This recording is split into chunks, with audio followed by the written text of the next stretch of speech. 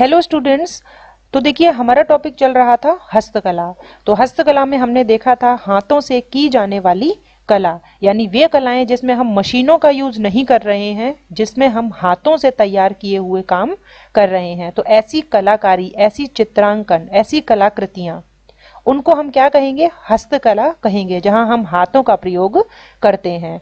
तो चलिए, हमने कई जो हस्तकला जो है वो हमने देख ली थी, जिसमें हमने पॉटरी के संबंध में देखा था ब्लैक पॉटरी ब्लू पॉटरी ठीक है, कागज़ी पॉटरी देखा, रंगाई छपाई हमने देखा, थेवा कला, टेराकोटा, मीनाकारी, बादला, उस्ता कला, कुंदन कला, ये हमने पढ़ा कि ये कहाँ कहाँ की प्रसिद्ध हैं। तो उसी में आगे देखते हैं, फड़ कला। फड़ जो है, किस शब्द से बना है? पढ़ से बना है, यानी कि पढ़ना। यानी इसमें हम जो है वो पढ़ेंगे, वाचन करेंगे तो फड़ कला जो है वो कपड़े पर किसी लोक देवता की चित्रों सहित प्रशंसा का चित्रण करना फड़ कहलाता है।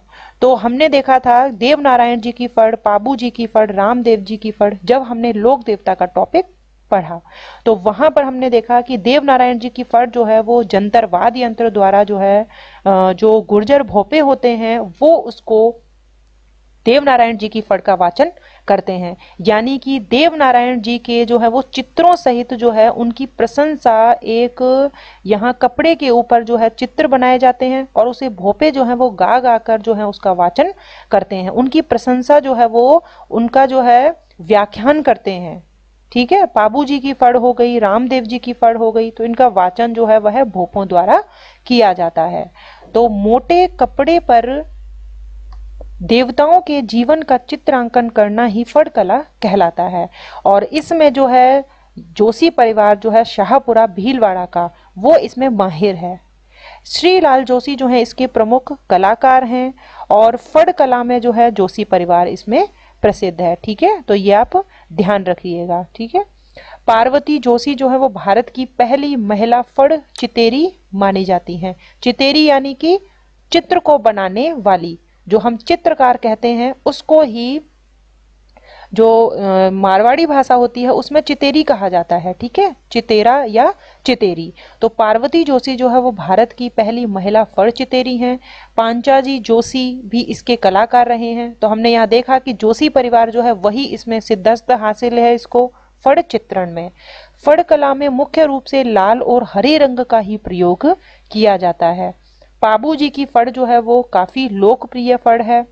और जब ऊँट बीमार हो जाता है, उसके बीमार होने पर जो भोपे होते हैं, वो रावण हत्यावाद यंत्र का प्रयोग करते हैं और पाबू जी की फड़ का वाचन करते हैं, जिससे ऊँट ठीक हो जाता है। तो पाबू जी की फड़ जो है वो काफ़ी लोकप्रिय प्रसिद्ध फड़ मानी जाती है, ठीक है? पाबू जी की फड़ में सबसे पहले जो है वो भाले का जो है वो चित्र बना होता है और पाबू जी की घोड़ी जो है केसर कालमी, इसको काले रंग में जो है वह चित्रित किया जाता है। फिर देखें देव नारायण जी की फड़ तो ये हम पहले पढ़ चुके हैं। देव नारायण जी की फड़ जो कि सबसे लंबी फड़ है और सबसे बड़ी है और ये सबसे पुरानी फड़ भी है। जंतरवाद यंत्र के द्वारा जो है गुर्जर भोपे जो हैं, फड़ का वाचन करते हैं। वाचन का अर्थ क्या होता है? यानी कि उसको बोलते हैं, पढ़ते हैं। गुर्जर जाति में जो है, वो भैरों की पूजा करने वाले पुरुष जो है उसको भोपा कहते हैं। ये फड़ जो है वो बहुत लंबी होती है, यानी कि 25 हाथ लंबी होती है ये फड़ देव नारायण जी की फड़, ठीक है? इसीलिए राजस्थान की सबसे बड़ी फड़ जो है ये कहलाती है। और मैंने आपको ये भी बताया था कि उन्नीस सौ बानवे को इस फड़ पर जो है डाक टिकट जारी किया गया है, ठीक है? तो ये एकमात्र ऐसी फड़ है जिस पर डाक टिकट जारी किया गया है। ये भी आप याद रखिएगा। उसके बाद देखें रामदेव जी की फड़। तो रामदेव जी की फड़ जो है वो सबसे पहले चौथमल जोशी ने बनाई थी। ठीक है, ये याद रखिएगा। कामड़ जाति के भोपे जो है वो वाचन करते हैं, रावण हत्ता वाद्य यंत्र के द्वारा पढ़ते हैं और महिलाएँ जो हैं वो कामड़ जाति की जो महिलाएँ हैं वो तेरह ताली नृत्य करती हैं, यानी तेरह मंजिरे बाँध के ये नृत्य करती हैं। तो इस तरीके से जो है वो कपड़े की जो है ये बनी होती है और इस पर जो है चाहे रामदेव जी हैं देव नारायण जी हैं पाबू जी हैं तो इनके जो है वो चित्र बने होते हैं, यानी कि इनके जीवन चित्रण होता है कि किस तरीके से है, इन्होंने संघर्ष किया था। ठीक है? और इसीलिए इन्हें लोक देवता की श्रेणी में हम रखते हैं। तो इनकी जो है प्रशंसा का चित्रण जो है, वह फड़ चित्रण कहलाता है। फिर देखें पिछवाई। पिछवाई यानी कि पीछे जो है वो यहाँ पर कलाकारी करना, ठीक है?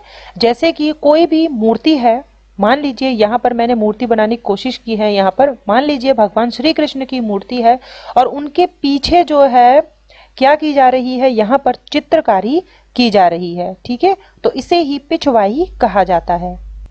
तो पिछवाई में ज़्यादातर जो है भगवान कृष्ण की जो है बाल लीलाओं को कपड़े पर चित्रित किया जाता है, ठीक है? चाहे वो उनका मक्खन खाते हुए दिखाना हो या उनका कोई भी शरारत करते हुए हो या उनको जो है गायों के साथ जब वो चरा रहे थे उनको तो वो चित्रांकन या फिर राधा जी के साथ जो है, जो भी क्रीड़ाएँ करते हैं, अपने जो है सखाओं के साथ तो वो सभी जो है, इनकी बाल लीलाओं को जो है, वो कपड़े पर चित्रित इसमें किया जाता है और पीछे जो है, वो इतनी सुंदर जो है, वो चित्रकारी की जाती है।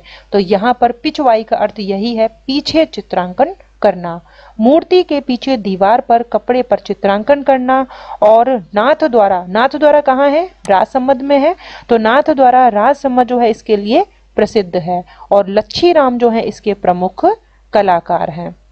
नाथ द्वारा में तारकसी के जेवर भी प्रसिद्ध हैं, जिसमें चांदी के पतले तारों द्वारा निर्मित जेवर भी बनाए जाते हैं। तो यहाँ राज सम्मत नाथ द्वारा में जो है, यहाँ तार कसी यानी कि तारों को कस कर बनाए जाने वाले जेवर, जिसमें चांदी के पतले तारों द्वारा जो है जेवर बनाए जाते हैं।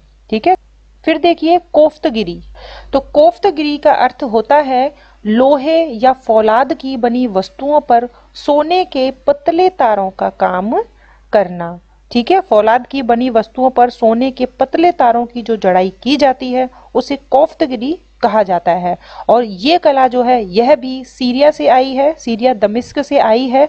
यहाँ से पंजाब आई, पंजाब से गुजरात आई और गुजरात से राजस्थान में आई, ठीक है? और राजस्थान में हम देखते हैं कि जयपुर और अलवर जो है, कोफ्तगिरी जो कला है, उसके लिए जाना जाता है, ठीक है?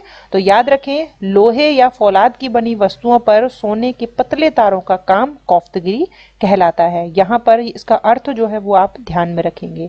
इसी तरीके से देखिए, तहनिशा।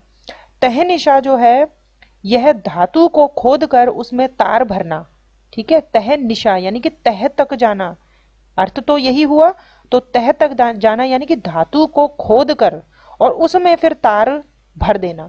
तह निशा कहलाता है। कई बार क्या होता है कौफ्तगिरी और तह निशा जो है, इसमें कंफ्यूज हो जाते हैं, ठीक है? तो यहाँ पर अर्थ जो है, वो ध्यान में रखना। तह यानी कि तह तक जाना, यानी गहराई तक जाना। तो धातु को खोदा और उसमें जो है, वो तार भरा। तो इसी कला को तह निशा कहा जाता है। पीतल पर सोने की कारीगरी करना। अलवर जो है, इसके लिए प्रसिद्ध है और उदयपुर जो है, वहाँ पर भी तहनिशा का काम जो है, वो होता है।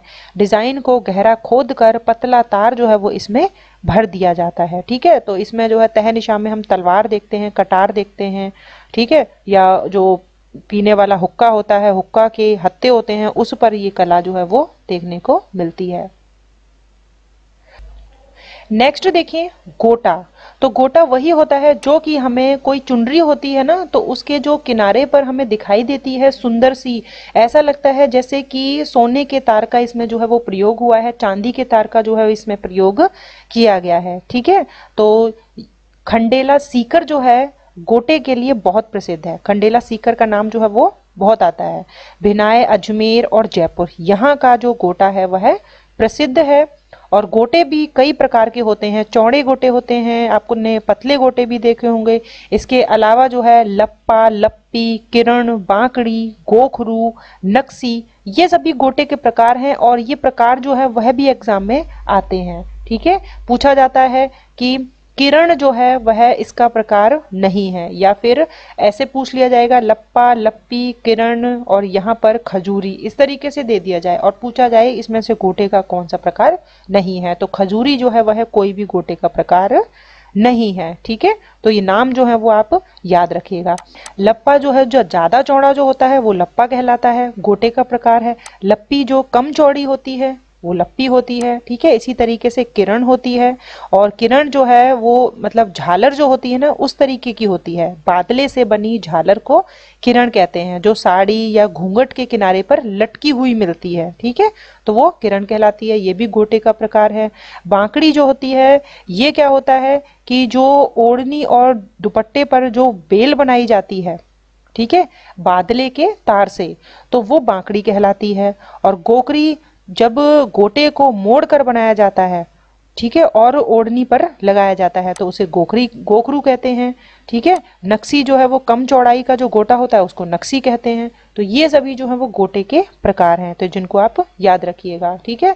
याद रखना है, गोटा जो है वो खंडेला सीकर का प्रमुख है, लप्पा, लप्पी, किरण, बांकड़ी, गोखरू, नक्सी, ये सभी गोटे के प्रकार हैं।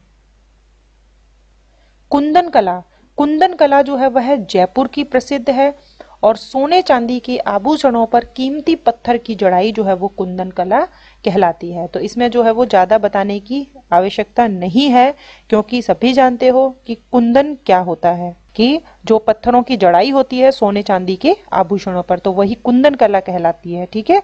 तो मीनाकारी हुई, कुंदन कला हुई तो ये कहाँ की प्रसिद्ध है? ये सभी जो है वो जयपुर की प्रसिद्ध है। नेक्स्ट देखें, खेसला। तो खेसला जो है, जो भी गाँव के बच्चे हैं, उनको पता लग ही गया होगा खेसला क्या होता है, ओढ़ने का होता है, ठीक है?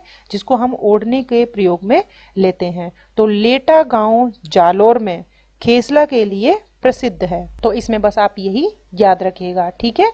तो ये मोटा जो है, ओढ़ने का होता है, मोटे जो है, धागों से बना हुआ खेसला।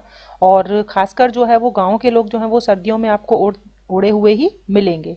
तो लेटा गाँव जो है जालौर ये प्रसिद्ध है खेसला के लिए। मुरादाबादी ये जयपुर में प्रसिद्ध है। और ये है क्या? पीतल के बर्तनों पर खुदाई का काम करना। यानी कोई भी पीतल का बर्तन होता है यदि उस पर डिज़ाइन डाली जाती है और उसे खोद खोद कर जो उस पर काम किया जाता है तो उसे क्या कह, कहते हैं? मुरादाबादी कहते हैं। ठीक है? नेक्स्ट देखिए दरिया। दरिया वही हैं जो हम बिछाने में काम में लेते हैं, ठीक है? और इन दरियों पर बैठकर जो है वो हम कोई भी काम जो है वो कर सकते हैं। तो यहाँ पर नागौर का जो टांकला गाँव है, दरियों के लिए प्रसिद्ध है। जोधपुर का सालावास जो है, यह भी दरियों के लिए प्रसिद्ध है, ठीक है? दोनों ही पॉइंट याद रखें, नागौर का टांकला गाँव और जोधपुर का सालावास। दरिया जो है, यहाँ की प्रसिद्ध हैं। फिर देखिए कास्ट कला काष्ट कला काष्ट यानी कि लकड़ी। तो लकड़ी से बनाई गई कलाकृतियाँ। तो बस्सी चित्तौड़ जो है वो इसमें प्रसिद्ध है काष्ट कला के लिए और इस कला के जन्मदाता प्रभाज जी सुधार को माना जाता है। और इन, इन्होंने जो है वो गनगोर का जो है चित्र बनाया था, ठीक है? और ये कला जो है वो सोलह सौ बावन ईस्वी में मालपुरा और टोंक से गोविंद सिंह के समय में स्टार्ट होती है। तो ये थोड़ा याद रखें, ठीक है? कास्ट कला जो है वो बस्सी चित्तौड़ की प्रसिद्ध है। फिर देखें रमकड़ा उद्योग। तो रमकड़ा उद्योग क्या है? देखिए, जो घिया पत्थर होता है, उसका जो है वो चूरा बना लेते हैं, यानी पाउडर बना लेते हैं, और उस पाउडर से मूर्ति बनाने की कला जो है वो रमकड़ा उद्योग कहलाती है। तो गलियाकोट, डूंगरपुर जो है, इस कला के लिए प्रसिद्ध है। फिर देखें, तलवारें तलवारें जो है वो सिरोही की प्रसिद्ध हैं। और तलवारें क्या होती हैं? तो इसका तो अर्थ आप सभी को पता है फिर देखिए जट पट्टियाँ जट पट्टियाँ क्या होती हैं? ये जो है, बकरी के बालों से जो दरियाँ बनाई जाती हैं छोटी छोटी तो उनको ही जट पट्टी कहा जाता है। इसे हम छोटी चटाई भी कहते हैं, ठीक है? और जो जहाज़ की जो कालीन बनाने में काम में ली जाती है, जसोल बाड़मेर की ये प्रसिद्ध है और कुम्हार जाति जो है, इसको बनाती है, ठीक है? और यहाँ राजस्थान में ये बनती है और यहाँ से जो है यूरोपियन कंट्री जो है और जो अरब देश हैं, यहाँ पर इनका एक्सपोर्ट जो है वो किया जाता है। इनको जो है यहाँ से निर्यात किया जाता है। फिर देखिए जूतियाँ। जूतियाँ जो कि शादी वगैरह में भी हम देखते हैं। शादी वगैरह में जूतियाँ जो है जिनका प्रचलन बहुत रहता है। और इसके अलावा जो है वो नॉर्मल लाइफ में भी कई लोग जो हैं, जो कुर्ता या पजामा पहन कर जो है वो जूतियाँ पहनते हैं, ठीक है? तो जूतियाँ जो हैं, जोधपुर में इनको मोजड़ी कहते हैं, जयपुर में इनको नागरी कहते हैं और चूरू में इनको बिनोटा कहा जाता है, ठीक है? तो आप ये नाम याद रखें कि जोधपुर में जूतियों को कहते हैं मोजड़ी, जयपुर में नागरी और चूरू में बिनोटा। अगला देखें, तबक। तबक जो है वो है जयपुर का प्रसिद्ध है और चांदी के तार को हिरण की खाल पर पीट कर बनाया जाता है। तो थोड़ा सा आप ये ध्यान में रख लें कि ये जयपुर का प्रसिद्ध है। अगला देखिए, बंधेज। अगला देखिए, बंधेज। बंधेज जो है किससे बना है? बांधने से बना है। तो जब कपड़े पर किसी जगह रंग नहीं चढ़ाना हो तो हम उस कपड़े को बाँध देते हैं। ठीक है? तो उसी को क्या कहते हैं? बंधेज। तो बंधेज जो कि हमने देखा है, बंधेज की चुनरी होती है, बंधेज का साफा होता है। तो बंधेज की जो सबसे बड़ी मंडी जो है, वो जोधपुर में है। तो इसी वजह से बंधेज चुनरी जो है, कहाँ की प्रसिद्ध है? जोधपुर की प्रसिद्ध है। यहाँ पर इसकी मंडी है। और बंधेज के लिए जो तैयब खां हैं इनको पद्मश्री का अवार्ड भी दिया गया था। तो ये भी जोधपुर के ही थे। फिर देखिए, पोमचा। पोमचा हम इसके बारे में पहले पढ़ चुके हैं। जयपुर का प्रसिद्ध है पोमचा और इसका प्रयोग जो है वो कब किया जाता है? जब लड़के का जन्म होता है तो पीला पोमचा जो है, वह उसके मायके से आता है और लड़की के जन्म पर गुलाबी पोमचा आता है। तो एग्ज़ाम में ये पूछा गया है पीला पोमचा और गुलाबी पोमचा के बारे में, ठीक है? कि लड़की के जन्म पर कौन सा पोमचा उड़ाया जाता है? तो पीला, गुलाबी, लाल तो ध्यान में रखें गुलाबी पोमचा। उसके अलावा कुछ और भी हैं हस्तकलाओं में, देखिए, कहाँ के प्रसिद्ध हैं? लोहे के औज़ार जो हैं, वो नागौर के प्रसिद्ध हैं। पेच वर्क जो है, वह कहाँ का प्रसिद्ध है? शेखावटी क्षेत्र का प्रसिद्ध है। तो ये जो पेच वर्क होता है, ये क्या होता है? देखिए, जब कपड़े को डिजाइनों में काट लिया जाता है और उस डिज़ाइन को दूसरे कपड़े पर सिल देते हैं उसको पेच वर्क बोलते हैं, ठीक है? जो कि शेखावटी का प्रसिद्ध है। वहीं पर एक होता है चटापटी वर्क। कपड़े को छोटे छोटे टुकड़े जो हैं, वो दूसरे कपड़े पर लगाना, ठीक है? चिपकाना, उसको बोलते हैं चटापटी वर्क। वो भी शेखावटी का प्रसिद्ध है, ठीक है?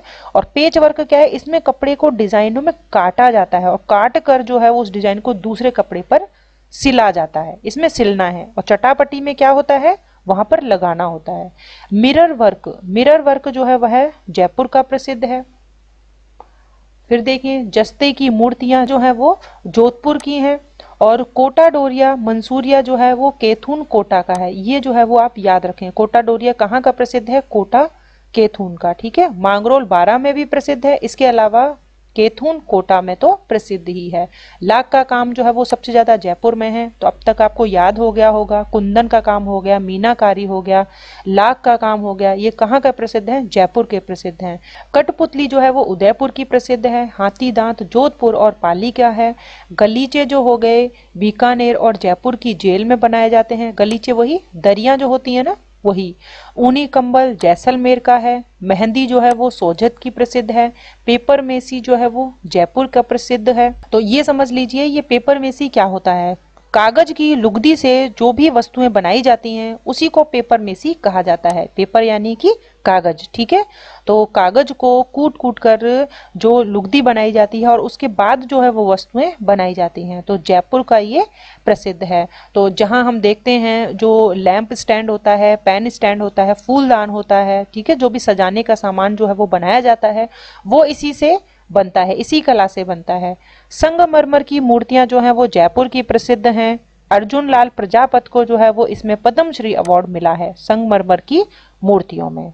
तो यहाँ पर हस्तकला का टॉपिक जो है, वो आपका होता है पूरा। और बार बार इनको पढ़िए, नाम याद रखिए। मैंने ही कई बार जो है, वो नाम इनके बोले हैं, जिससे कि आपको याद ये हो जाएँगे। तो थोड़ा सा चलिए, अब हम लोग जो है, वो रिवाइज कर लेते हैं। जो भी याद किया हुआ है, एक बार रिकॉल करने से सभी चीज़ें जो है वो याद हो जाएँगी। तो सबसे पहले देखिए, हमने क्या पढ़ा था? ब्लू पॉटरी पढ़ा था, जहाँ हमें कृपाल सिंह शेखावत का नाम याद रखना है और जयपुर याद रखना है, ठीक है? और मानसिंह प्रथम के समय स्टार्ट होते हैं। जो ब्लू पॉटरी का काम और राम सिंह सेकंड के समय जो है उसका बहुत ज़्यादा डेवलपमेंट होता है। ब्लैक पॉटरी कोटा की है, कागज़ी पॉटरी अलवर की है ठेवा कला जो है वो कहाँ की है? प्रतापगढ़ का सोनी परिवार यानी प्रतापगढ़ की है। टेरा कोटा, मिट्टी को पकाकर बनाई गई मूर्तियाँ, राजसमद, मोलेला गाँव प्रसिद्ध है। मीनाकारी जयपुर की है, कुंदन कला जयपुर की है। बादला जोधपुर का है, ठीक है? पानी पीने का बर्तन, उस्ता कला बीकानेर की है, ऊँट की खाल पर जो सोने की चित्रकारी होती है। फिर हमने जो है वो नमदे देखे थे, टोंग के प्रसिद्ध हैं, रंगाई छपाई जो है वो कार्य देखा हमने, फड़ कला जिसमें हमने लोक देवताओं के बारे में भी याद कर लिया कि पाबू जी की जो फड़ है, ऊँट के बीमार होने पर भोपा जो है वो रावण हत्यावाद यंत्र का प्रयोग करते हैं, फड़ वाँचते हैं। फिर हमने देव नारायण जी की फड़ देखी, सबसे लंबी बड़ी फड़ है। रामदेव जी की फड़ जो है, जिसको जो है, किसने बनाया था? चौथमल जो है, उनका नाम आता है। पिछवाई मूर्ति के पीछे दीवार पर जो चित्रांकन होता है, ठीक है, जहाँ राधा कृष्ण जो हैं या कृष्ण भगवान की बाल लीलाएँ जो हैं, उनके चित्र होते हैं। लच्छी राम प्रमुख कलाकार हैं पिछवाई के। फिर हमने देखिए तह निशा कोफ्तगिरी की बात की थी। तह निशा तह निशा यानी कि पतला जो तार होता है, उसको भर देते हैं। गहरा खोद कर ठीक है? अलवर का प्रसिद्ध है। कोफ्तगिरी, लोहे की जो वस्तुएँ होती हैं, उन पर सोने के जो पतला तार होता है, उसका काम जयपुर अलवर की प्रसिद्ध है। गोटा जो है, वो खंडेला सीकर का प्रसिद्ध है। और फिर हमने क्या पढ़ा? उसके बाद जो है, वो हमने काष्ट कला के बारे में पढ़ा। बस्सी चित्तौड़गढ़ की है। फिर हमने मुरादाबादी देखा, जयपुर की प्रसिद्ध है। दरिया देखी, नागौर का टांकला गाँव प्रसिद्ध है। और जोधपुर का जो सालावास गाँव जो है, वह भी दरियों के लिए प्रसिद्ध है, ठीक है? फिर हमने जो है, वो बंधेज के बारे में देखा। जोधपुर में फैक्ट्री है, बहुत बड़ी, और बंधेज चुनरी जो है, जोधपुर की प्रसिद्ध है ना? और उसके बाद जो है, वो हमने गलीचे देखे, बीकानेर जयपुर की जेल के, ऊनी कंबल जैसलमेर का पेपर मिसी जयपुर की, मेहंदी सोजत की, संगमरमर की मूर्तियाँ जयपुर की। तो ऐसे ही आप लोग जो है इनको बार बार बोलेंगे और ये याद हो जाएँगे। तो चलिए मिलते हैं नेक्स्ट वीडियो में, जब तक आप इनको पढ़िएगा। Thank you